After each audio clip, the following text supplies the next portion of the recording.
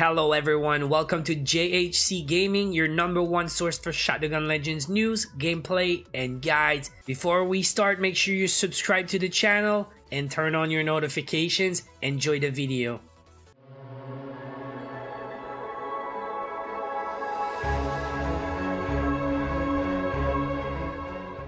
What is up guys, Johnny here back with more Shadowgun Legends. In today's video we take a look at the upcoming legendary machine gun in Shadowgun Legends.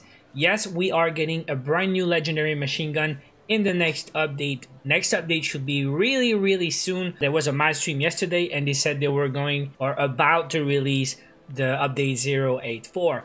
So what we know is when the update release, probably early next week, there's gonna be a change in the road to legends. Right now, the maximum rank in Shadowgun Legends is rank 20. And the road to legend goes up to rank 20 and you claim your rewards as you rank up. Now the announced change is, as you guys probably know, we can rank up 7 more times after 20. But it doesn't show. It caps at 20, but you keep going. 20 plus 1, 2, 3, up to 20 plus 7. Now it is confusing for a lot of players and they announced they will do it old school and you will see your rank go up now from 20 to 27 and you will see it on your rank next to your name. The same thing is gonna happen into the road to legends and you will now be able to claim a new legendary weapon when you reach 27. So today we got gameplay reveal, artwork reveal, and stats reveal. So we're gonna take a look at it and we will compare the stats to the previously released legendary machine guns. So get ready to claim your Eidolon. What? Eidolon. I had to Google it. I had no idea how to pronounce Eidolon and I had no idea what it was. So it actually is a phantom or an apparition.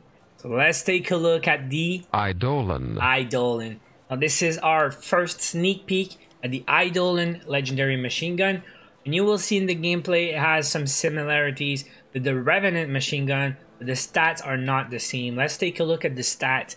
Now before we compare the stats with the other machine guns, just a quick note, it could change with the update. These are the stats I got in a video screenshot, but there's no guarantee that when the machine gun release, it's gonna have the same stats. But with just a few days before the update, I'm pretty confident that would be the stats of the Eidolon Let's compare with the Rev. The Revenant is one of the most popular machine guns for Gold Arena and pretty much all game modes.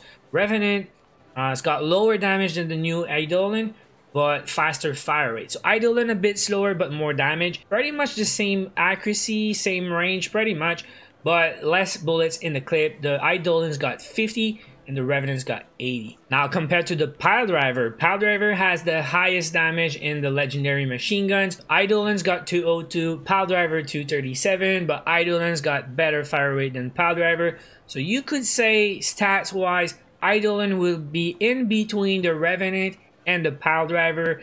And check out the clip size, same thing. Eidolon's got more than the Pile Driver, less than the Revenant. So it's pretty much in between. Accuracy and range, exact same on the Pile Driver and the Eidolon. I will still compare with the Chaser, but you already know where it stands right now. It's in between the Rev and the Pile Driver for the damage and fire rate.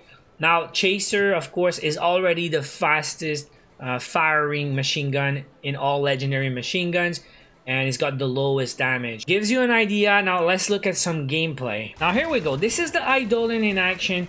And like I said, it looks similar to Revenant. The iron sight, pretty much the same. Uh, the sound, the firing sound, the reload animation, of course.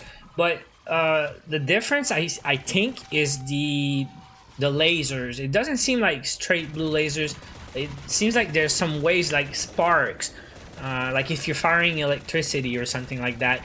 And when the blast or the beams hit the walls or the enemies, you see some sparks. I don't know if you'll notice, but you see some kind of sparks whenever the blast hit something.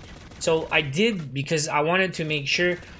Uh, I, I'm pretty sure the Revenant does not do that. So I went back and did a blue operation with my Revenant just to compare. But it feels different. It seems like it's different. I see now this is the Revenant. I just recorded right before uh, the video. You see the blue blast when they hit the wall. doesn't seem like they spark. Now same with the enemies, when you hit them, doesn't seem like it has the same sparks like the Eidolon has. So I don't know if it's because of different quality settings on the two different recordings, but it feels different. Now after they released the Pile Driver, I still went back to the Revenant because it felt better in the arena. I think, or I feel like the bullets travel faster. The Pile Driver did good damage. The problem is the bullets travel slow in my opinion. So for long range fights, uh, it's not so accurate, but I guess I have to play more. This thing's gonna be awesome, I think, because it's in between. So it has the speed of the Revenant, but it has more damage, even though it has less than the Piledriver. I think it's gonna be a very decent option for arena gameplay. Now, once again, uh, don't bother with the numbers here because the gameplay was recorded with a, probably a low level account. You see the bullets do like 90 damage, 106. So it's not gonna be like that when you get your max level uh, Eidolon. Now one last comparison before I end the video is the yellow jacket we got on the previous event. I did play the yellow jacket quite a bit in the past week. I uploaded two videos with that lately and uh, it's pretty much the same stats 202.4 it's the same damage as the yellow jacket but it's got higher fire rate and five less bullets in the clip i thought the yellow jacket felt pretty good honestly but the Eidolon is gonna have 8 perks instead of 4 because it's a legendary. Now I'm kind of excited for that one for two reasons. First of all, for all the players that don't have Revenant because they don't do a lot of gold arenas or didn't get lucky, this is gonna be free for everyone. You rank up to 27, you get that. So everyone will have a chance to have a decent machine gun to go farm some arenas. So that is awesome for that. Second thing that makes me excited is I think the stats are awesome, and I'm a Revenant fan, so I think it's gonna be a good option. I cannot wait to try it. I cannot wait to do some arenas with the Eidolon. I'm a really big fan of machine guns. I love machine guns in this game, so awesome that we got a new one. Now, my only disappointment is the stats. I mean, I like the stats, but at the same time, I was still hoping for something like the 80 Kosa. It was my favorite machine gun in the game ever. It's the highest damage in all machine guns, but it's super low fire rate. And I love this type of machine gun. Anytime they release a new legendary machine gun, I'm always hoping that it might be it. But yeah, I was disappointed with the Pile Driver. Now they announced a new machine gun. I'm super hyped. Now we see the stats. Well, it's gonna be an awesome machine gun okay? Don't get me wrong. I'm really hyped for that one. It's gonna be good. But i was still expecting maybe that one day we might get something like the kosa. Just showing it again. But this is the kosa. Like 290 the the damage and 305 the fire rate. So i don't know. I like this thing. I know it's not all you guys that like these slow high damage machine guns. But the thing is when you stack the damage and the multipliers with big numbers you end up with crazy numbers and with all the perks we get on legendary items I thought it would be amazing. So maybe one day guys it's not over but we got four legendary machine guns now and uh, I'm hyped to get that one. So we'll have to wait a couple days at least the weekend I'm guessing is gonna be early next week and at worst maybe at the end of next week.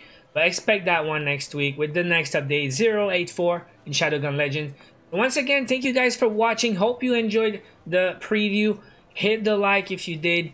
Don't forget to subscribe to the channel for more Shadowgun Legends news, gameplay, and guys, I will be back soon. Till then, watch my other videos. Take care.